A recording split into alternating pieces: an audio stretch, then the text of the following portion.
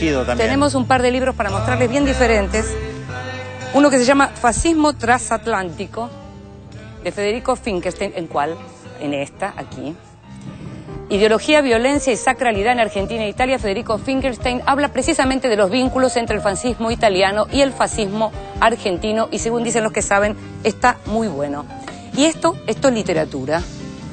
Fabio Morábito, La lenta furia tiene otro que se llama Grieta de Fatiga. Son libros de cuentos, cuentos muy raros, muy insólitos. Un escritor insólito que no conocíamos, vive en México, nació en Alejandría, pero se crió en Italia. Una mezcla muy rara, pero es un escritor, escribe como un escritor latinoamericano. Se lo recomienda Indes está bueno, está muy bueno. sin lugar a dudas. Está muy bueno.